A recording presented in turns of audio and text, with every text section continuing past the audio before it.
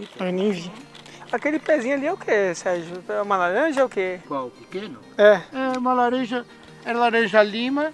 A vida inteira ela ficou assim anã. Nossa, que Interessante. ficou pequenininho ali e Tem carregado. três dúzias, chega perto lá, tem três dúzias É? de laranja lima. Isso que eu tô olhando, desse Por tamanho. tempo tem. Esse pé tem 35 anos. Não sai daquilo, cara? Não sai daquilo. Tem 35, 34 anos esse pé. Acredita quiser. Esse posso controlar o tamanho também. Lógico, lógico, você vai controlando, você vai mexendo na planta, né? Vamos contar. Os caras não acreditam que dá, cara, eu não mexi ainda, não colhi nada não, ele tá amadurecendo. Quer ver, ó? Vamos contar quantas laranjas tem, ó. Laranja lima, tá? 3, 5, 6, 7, 8, 9, 10, 11, 12, 13, 14, 15, 16, 17, 18, 19, 20, 21, 22, 23, 24, 25, 26, 27, 28, 29, 30, 31, 32, 33, 34, 35, 36, 37, 38, 39, 40, 41, 42, 43. Nossa, Quantos, quantas dúzias é? Três dúzias? três Três dúzias e meia. e meia, né? Aí, parece que tá assim, há 34 anos, eu não sai disso. Se tivesse entendido por que, que ela ficou anão, era uma maravilha para fazendeiro de laranja. Ai, que coisa maravilhosa, pra ter quase quatro dúzias de laranja para um pé. Parece um bonsai. Parece um bom, mas não fiz para isso, é dela. Não sei o que aconteceu. Eu comprei na mesma época dessas três laranja lima, são irmãs. São irmãs. É aqui, isso, ó. isso aqui. São três, ó. Três, três irmãs, mas ela quatro eu comprei 34 anos atrás. Um, dois, três, ó. É tudo laranja lima. E essa ficou assim, não sai disso. Eu queria descobrir por que, que ela é assim. Não, não, não entendo. Não sei o que acontece. E olha aí, quatro dúzias de laranja. Ah, Dá para acreditar? Não dá, né? É então, as coisas da natureza, né? É, natureza. Tem coisa que não tem explicação. Aquele tem, fez 50, por que, que não move? Você deve fazer uma comba muito boa. É? Bem feito. Bem Tá vendo? feito. Tá vendo as conversas? É assim. Eu tenho 57 anos. Nossa, não acredito. Deu muito calor, caiu 80% da carga dele em janeiro, de calor. Ai, Ó. olha. Mas ainda sobrou. Esse é antigo chocolate mole, chama. Uhum. Então até que meu avô plantou, né? Aí nós vamos pegar depois algum caqui, vou trazer. Esse cara tem uns maduros. Pelo menos sobrou um pouco de caqui, deve ter umas 8 dúzias, por aí. Ano passado tiramos 500 frutas dela. Nossa, 500 frutas.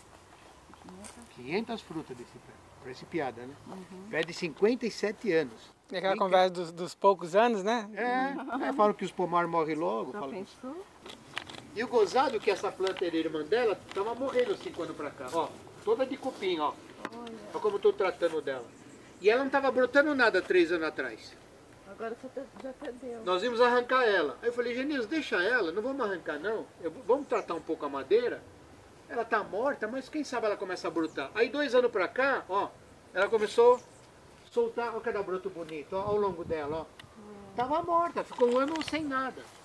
Então vamos ver, se ela brotar um pouquinho, vamos ver. A podridão parou, ela tá soltando broto novo. Esse também é da mesma época dela. Aí você catalogou o broto por quê, Sérgio? Que aí Porque não aqui eu tô enxerga. fazendo, enx- vou fazer enxerto de caquis diferente.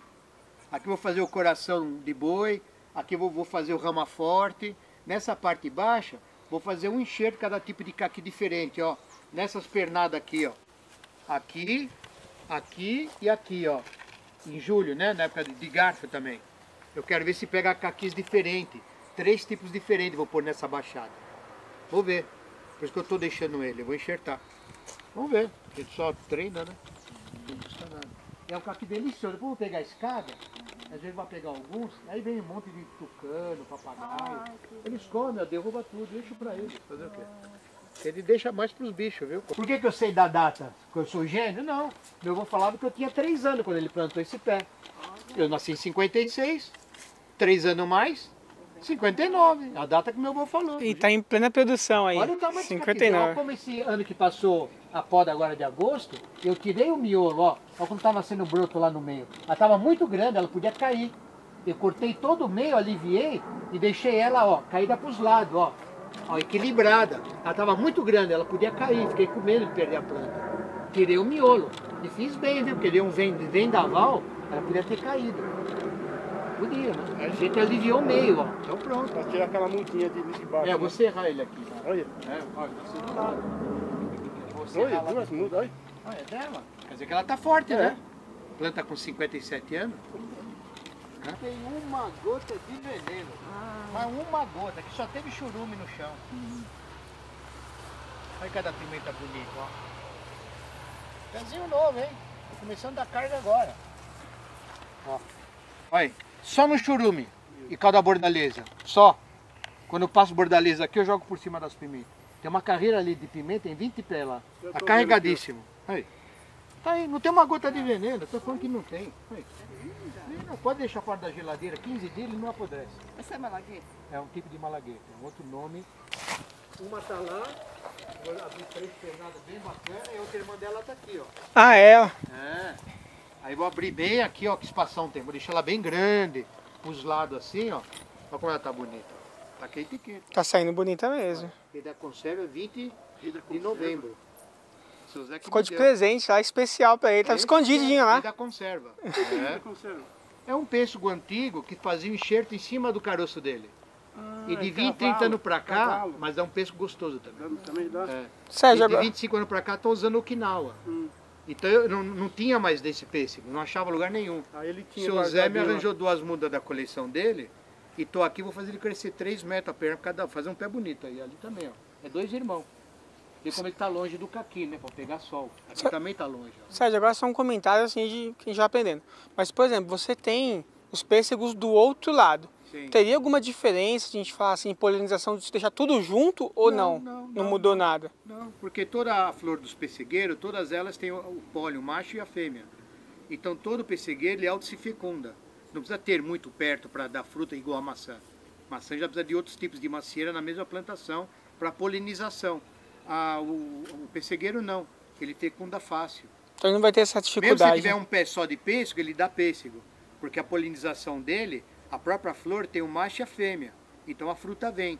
E tem macieira que tem dificuldade de polinização.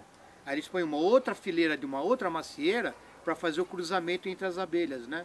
Leva o pólen de um para o outro. Pessegueiro não. Ele sozinho produz bem. Não precisa Legal. de outro companheiro para né? produzir.